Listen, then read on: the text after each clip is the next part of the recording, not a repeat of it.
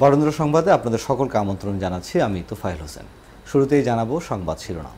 Saudi আরবের রিয়াদে ভয়াবহ অগ্নিকাণ্ডে নয় বাংলাদেশি নিহত। রাজশাহীতে ডেঙ্গু প্রতিরোধে ভ্রাম্যমাণ আদালত পরিচালনা করেছেন রাজশাহী সিটি কর্পোরেশন। রাজশাহী জেলা আওয়ামী লীগের সাবেক সাধারণ সম্পাদক আসাদুজ্জামান আসাদের মতবিনিময় ও গণসংযোগ। শুনছিলেন শিরোনাম, এবারে জানাব বিস্তারিত। সৌদি আরবের রিয়াদে ভয়াবহ অগ্নিকাণ্ডে নয় বাংলাদেশি নিহত হয়েছেন। এদের মধ্যে চারজনের বাড়ি রাজশাহীর বাগমারায়। নওগাঁ এলাকার দুইজন এবং একজন নাটোরে রয়েছেন। বাকি দুইজনের বাড়ি মাদারীপুর, একজনের বাড়ি ঢাকায়।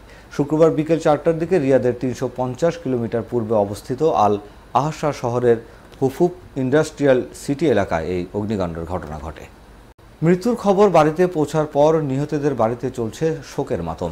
জানা গেছে, আল আহসা ইন্ডাস্ট্রিয়াল সিটি এলাকায় একটি সোফা কারখানায় কাজ করত তারা।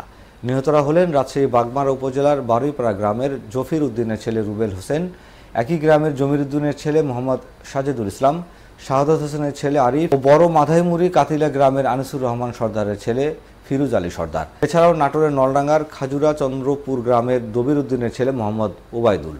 নওগাঁর আত্রায় ঝঞ্ঝনিয়া শাহগোলা গ্রামের আইজাক প্রামাণিকের ছেলে রমজান আলী ও আত্রায় উদয়পুর গ্রামের রহমান সর্দারের ছেলে বারেক সর্দার। অন্য দুইজন হলেন ঢাকার সাইফুল ইসলাম এবং মাদারীপুরের জুবায়ের ঢালি। ওই কারখানায় মোট চোদ্দ জন বাংলাদেশি শ্রমিক কাজ করতেন। রাজশাহীতে ডেঙ্গু প্রতিরোধে বিভিন্ন নির্মাণাধীন ভবন সহ দোকান, অফিস ও আবাসিক এলাকায় মোবাইল কোর্ট পরিচালনা করেছে রাজশাহী সিটি কর্পোরেশন। শনিবার সকাল এগারোটা থেকে অভিযান শুরু হয়। নগরের ভদ্রা এলাকার একটি দোকান ও নির্মাণাধীন ভবনে জমে থাকা পানিতে ডেঙ্গুর লাভা পাওয়ায় বিশ হাজার টাকা জরিমানা করা হয় এবং দুইজনকে আটক করা হয়। ডেঙ্গু প্রতিরোধ ভ্রাম্যমাণ আদালত পরিচালনায় নেতৃত্ব দেন রাজশাহী সিটি কর্পোরেশনের নির্বাহী ম্যাজিস্ট্রেট ও সচিব মশিউর রহমান। এ সময় এডিস মশার অস্তিত্ব পাওয়ায় আদ্দিন প্রপার্টিজ ও বাবুল ফিলিং স্টেশনকে দশ হাজার করে বিশ হাজার টাকা জরিমানা করা হয়। বাংলাদেশের উন্নয়নের ধারা অব্যাহত রাখতে আগামী জাতীয় সংসদ নির্বাচনে প্রধানমন্ত্রী শেখ হাসিনার হাতকে শক্তিশালী করা এবং ষড়যন্ত্রকারীদের প্রতিহত করার আহ্বান জানিয়ে গণসংযোগ এবং মতবিনিময় করেছেন রাজশাহী জেলা আওয়ামী লীগের সাবেক সাধারণ সম্পাদক মোহাম্মদ আসাদুজ্জামান আসাদ। শনিবার পবা উপজেলার নহটা পৌরসভার কলেজ মোড় থেকে শুরু করে নহটা ব্রিজ পর্যন্ত বিভিন্ন শ্রেণি পেশার মানুষের সঙ্গে মতবিনিময় করেন তিনি। এরপর থানার মোড়ে এক সংক্ষিপ্ত পথসভায় বক্তব্য দেন আসাদুজ্জামান আসাদ। এ সময় তিনি বলেন, বঙ্গবন্ধু কন্যা প্রধানমন্ত্রী শেখ হাসিনার নেতৃত্বে দেশে ব্যাপক উন্নয়ন দৃশ্যমান। এই উন্নয়নের ধারা অব্যাহত রাখতে প্রধানমন্ত্রীর হাতকে শক্তিশালী করতে হবে।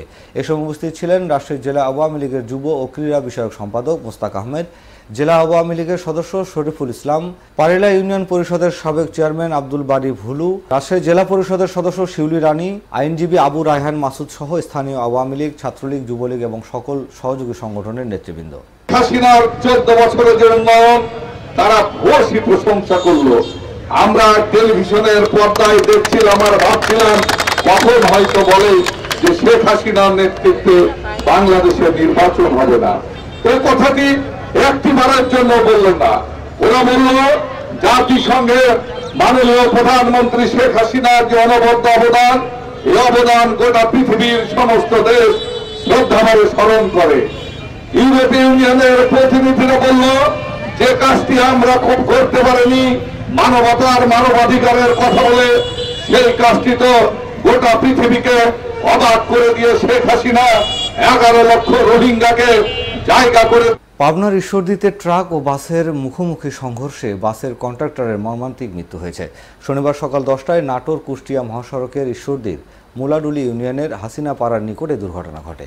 এ ঘটনায় যাত্রীবাহী কোচের চালক সহ অন্তত পনেরো যাত্রী গুরুতর আহত হয়েছেন। আহতদের উদ্ধার করে মুলাডুলি ক্লিনিক ও ঈশ্বরদী উপজেলা স্বাস্থ্য কেন্দ্রে প্রেরণ করে Ishwardi fire service and civil defence সদস্য সহ স্থানীয়রা। প্রত্যক্ষদর্শী ও স্থানীয়রা জানান, কোচটি রাজশাহী থেকে পাবনায় যাচ্ছিল। এ সময় বিপরীত দিক থেকে আসা একটি ট্রাকের সঙ্গে মুখোমুখি সংঘর্ষ হয়। এতে ঘটনাস্থলে বাসের কন্ট্রাক্টর শ্রী ভরত চন্দ্র সরকারের মৃত্যু হয়। Ishwardi fire service and civil ডিফেন্সের ইনচার্জ অপু মণ্ডল জানান, সংবাদ পাওয়ার পর দ্রুত ঘটনাস্থলে গিয়ে কোচের দরজা কেটে নিহতের লাশ বের করা হয় এবং আহতদের বিভিন্ন হাসপাতালে প্রেরণ করা হয়।